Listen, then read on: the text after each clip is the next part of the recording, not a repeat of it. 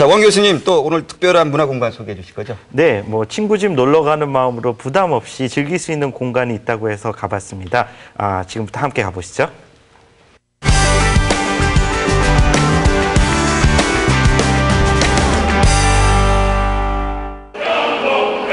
위풍당당한 외모의 대형 공연장, 화려한 스포트라이트 속 대형 무대는 늘 관객들의 주목을 받기 마련입니다. 하지만 대형 공연장과는 그 맛이 다른 작은 공연의 매력, 아시는 분들은 다 아시죠? 여기 작다 못해 공연자와 관객석의 벽을 허물어버린 놀라운 무대가 있습니다. 이름하여 하우스 콘서트. 그 작지만 큰 무대를 지금부터 함께 만나보시죠.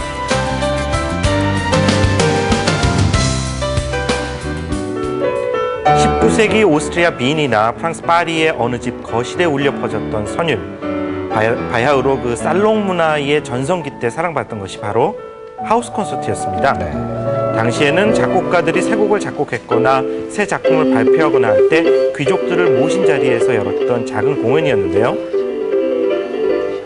집에 손님들을 모셔놓고 연주를 들려주었던 문화 공감 현장이 현대 다시 꽃을 피웁니다.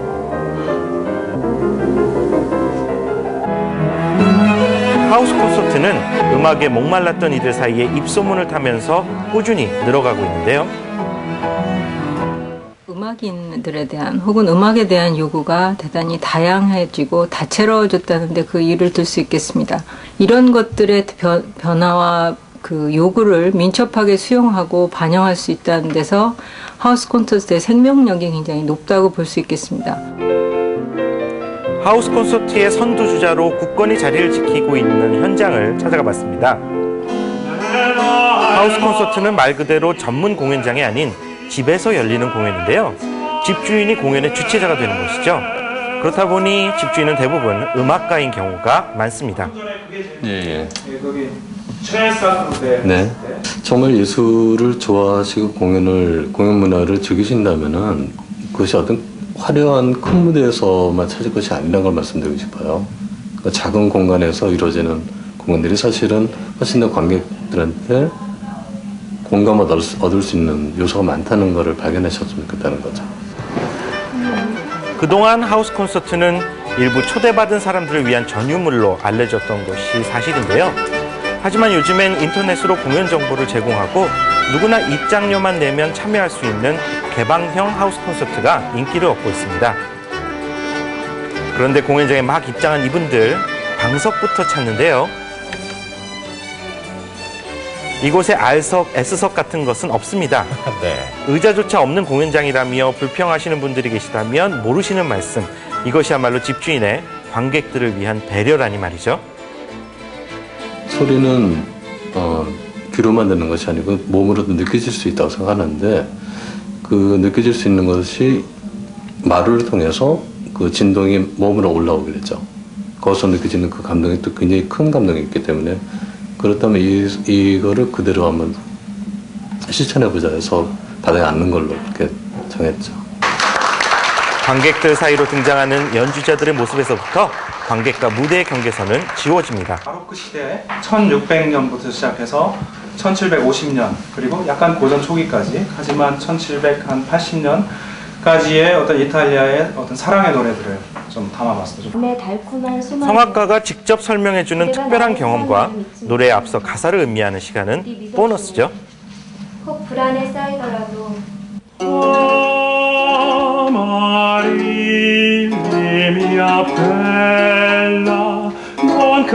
관객들은 빠르게 음악에 몰입하고 조용히 노래를 음미합니다. 하우스 콘서트에서는 관객과 밀착된 무대로 인해 연주자의 조그만 움직임, 표정, 심지어 숨 고르는 소리까지 생생하게 들리는데요. 때문에 그 어떤 무대보다 많은 교감을 느낄 수 있는 특별한 경험이 가능한 무대입니다. 오늘 밤 무대는 관객들에게 어떤 기억으로 남게 될까요? 사실 이렇게 발 뻗고 그 콘서트 클래식을 본다는 게 쉬운 건 아닌데 참 이렇게 발냄새는 나긴 했지만 참 편하게 느긋하게 볼 수 있는 그 공연이라서 참 좋았던 것 같아요. 새로운 경험이고요. 그리고 제가 마치 무대에 서 있는 것처럼 그런 느낌이 들고 생생했고 그리고 좀 더 바로크 음악이라는 장르에 대해서 잘 몰랐는데 좀 더 친숙해진 것 같고요. 고전 클래식 같은 건 좀 어렵다고 생각을 많이 하는데 좀 편안한 자리에서 이런 집 같은 분위기 내서 하니까 이해하기도 쉽고 좀 편했던 것 같아요. 이곳을 찾은 관객들의 즐거움은 공연 후에도 이어지는데요. 공통의 관심사를 가진 사람들과의 새로운 만남과 더불어 연주자와 직접 대화를 나누는 시간은 관객들에게 그 무엇보다 바꿀 수 없는 소중한 경험으로 남겨집니다. 일반적으로 커다란 공연장에서 연주자들을 볼 때 굉장히 뭐 나와는 좀 뭔가 다른 세계에 있는 사람처럼 느껴지거든요. 초보자들은 그러기 쉬운데 이런 데 와서 첫, 그- 첫 그런 음악을 접하게 될 경우에 오히려 큰 극장이라든지 그런 데서 연주하는 거를 보러 가는데 뭔가 이렇게 거부감 없, 그런 걸 없앨 수 있는 그런 1차 병원 같은 그런 역할을 할 수 있지 않을까 생각이 듭니다. 문화를 사랑하는 사람들을 위해 대문을 활짝 열어 젖히는 또 한 사람, 소리꾼 박정욱 씨입니다. 그런데 이게 웬일입니까? 공연은 뒷전이고 밥 먹는 사람들로 북적이는 이곳. 대체 정체가 무엇일까요? 이곳의 음식 맛은 전국 방방곡곡의 소문난 맛집에 비할 바가 아니라는데요. 많은 이들에게 추억의 맛을 선사하는 이는 소리꾼 박정욱 씨의 어머니. 집에 찾아온 손님들에게 식사를 대접하는 것이 당연한 일이 아니냐는 그런 분입니다. 장사를 하는 것도 아니고 돈을 벌라고 이걸 하는 것도 아니고 아니거든. 손님이 많이 오시면 억수로 기분 좋고 어머니의 그런 마음을 알기라도 하는 듯 모두 밥 한 그릇 뚝딱 비워냅니다. 그런데 모두 분주한 이때 이분들은 꽤 한가해 보이는데요. 아니 왜 식사 안 하시고 아니 상이 없잖아 아직 밥상이 없어 사람이 많아가 이곳에선 숨은 일꾼들을 쉽게 만나볼 수 있는데요. 하지만 이들은 이곳의 직원이나 일꾼이 아닙니다. 식사를 맛있게 했고요. 네. 유선이 워낙 떨리다 보니까 네. 여기 이제 자기가 치운 거 자기가 먹은 거는 다 자기가 치우는 다 그렇게 시스템- 시스템이 되어 있고요. 누구든지 친구 집에 가서 일 있으면 도와주고 이렇게 되잖아요. 근데 여기 보, 보니까 내, 내 집안 일을 갖고 이래서 같이 도와서 하게 됐어요. 입을 매혹시키는 옛날 어머니의 맛을 보고 난 후 눈을 사로잡는 이곳의 전시품들도 놓치지 마십시오. 우리 전통이라는 공통 분모 아래 옛 물건들이 한 자리에 모여 있는데요. 특히 아이들에게 배움과 즐거움을 선사하는 자리입니다. 이게 뭔지 알아? 네. 어 뭐야? 쨍그랑이. 쨍그랑이. 다른 사람의 집에 놀러 갔을 때 이런 기분일까요? 집안 곳곳을 구경하고 차도 대접받고 그리고 전통을 배울 수 있는 보람찬 시간까지 마치 종합 선물 세트를 받는 기쁨을 맛볼 수 있습니다. 전통 문화를 잘 이해를 하려면 그 주변 그 전통 문화뿐만이 아니라 그 전통 문화에서 소리라든가 춤을 감상하기에 적당한 배경이 필요할 것 같아서 그래서 저희가 이제 여기 가래헌이라고 이름을 달고요. 예, 서도 소리를 중심으로 예, 국악을 좀 보급하려고 예, 좀 대중화 시킨다고 하나요? 드디어 본 공연을 시작할 차례인데요. 역시 무대는 따로 없습니다. 앞쪽에 약간의 공간만 남겨두고 옹기종기 모여 앉으면 그것으로 준비 끝.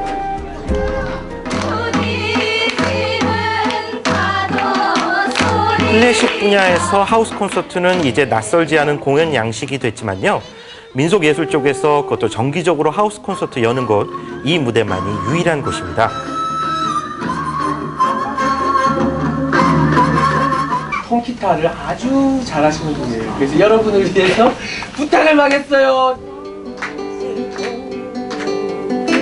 관객들을 위해 언제나 열려 있는 무대 또한 이곳을 특별하게 하는 자랑거리인데요. 무, 무대는 사라지고 공연하는 사람과 관객들이 한 몸이 된 지 이미 오래입니다. 느낌이 틀린 것 같아요. 무대에서는 벽 하나 쓰여져 있는 것 같아요. 근데 하우스 콘서트 공연을 하면서 느낀 거는 벽이 없다는 거예요. 어느 누구나 와서 들을 수 있는 것. 어느 누구나 와서 그냥 편하게 그냥 들을 수 있는 그런 공연이 있어서 좋고요. 저희 집 같아요, 저희 집. 그냥 저희 할아버지 집에 간 거? 음식 해주시고 놀기도 했던 그런 어린 시절 생각나서 정말 저희 집 같은 생각이 들어요. 무료로 진행되는 이곳에서의 공연은 자유로운 분위기 속에서 후원금을 받고 있는데요. 물론 사정이 허락지 않으면 내지 않아도 됩니다. 이곳에 발걸음하여 함께 흥겨운 마음으로 즐기면 그뿐. 그들을 위하여 이곳이 있고 그들의 즐거움을 위해 이곳에 공연이 있는 것 아니겠습니까? 입장에서 이제 거리감을 두고 멋있게 예술을 표현하는 것도 좋고 하지만 예, 집에서 하는 건 그저 그냥 내가 아는 사람이 나가서 한다는 생각을 하게 되죠. 그래서 정말 좋아하게 그 예술을 좋아하게 만들 수 있는 힘이 이 집 하우스에서 하는 그 공연이에요. 음악을 좋아하십니까? 그런데 대형 공연은 별로라고 생각하신다고요? 그렇다면 하우스 콘서트에서 답을 찾아보십시오. 따스한 이야기와 음악이 어우러지는 공간, 하우스 콘서트 현장에서 확인하실 수 있을 겁니다. 네. 하우스 콘서트, 특히 가래현, 진짜 마음에 드네요. 어, 그 연주하는 사람과 관객이 가장 교감하는 이 큰 것이 바로 이 하우스 콘서트 같은데, 뭐 관객도 관객이겠지만 연주하는 분들도 느낌이 다르겠어요. 네, 아무래도 그 무대와 객석 간의 거리가 또 별로 없기 때문에 뭐 interactivity라고 그러죠. 아주 그, 그 자리에서 바로 생동하는 느낌을 주고받을 수 있는 것이 큰 특징이라 할 수 있는데요. 피아니스트 김선욱 씨 같은 경우에 어, 지금 소개시켜드린 박창수 씨 때 그 하우스 콘서트에서 연주를 한번 했었다고 해요. 그 뒤에 그 리즈 콩쿠르에 나가서 어, 대상을 받았는데요. 그 어, 하우스 콘서트 보신 분들에게는 아주 특별한 어, 체험이 되지 않았을까 생각이 됩니다. 네. 요즘 들어서는 그 장르가 무너지고 있는 것 같아요. 네, 보통 하우스 콘서트 하면 클래식 음악을 먼저 생각하시는데요. 네. 아, 요즘에는 무용도 있고요. 바디 페인팅 같은 거 혹은 뭐 비디오 아트도 하우스 콘서트 형식으로 진행이 된다고 합니다. 아, 어떻게 보면 이렇게 다양한 예술 장르들이 어, 관객과 밀접하게 만나서 새로운 시도를 한다는 것 굉장히 재미있는 어, 경험을 할 수 있는 어, 기회가 되지 않을까 기대가 됩니다. 네. 네. 뭐 그 이웃집에 찾아간 것 같기도 하고 그 가족끼리 함께 모여서 아주 편안하게 공연을 보는 것 같은데 와 가래원에서 그 비빔밥처럼 어, 네. 어, 후원금으로 받고요. 어, 뭐 초대장은 필요 없다고 하시니까 어, 그 사- 음악을 사랑하는 마음과 그리고 약간의 입장 또 후원금만 준비하시면 좋은 공연 보실 수 있을 것 같습니다. 네.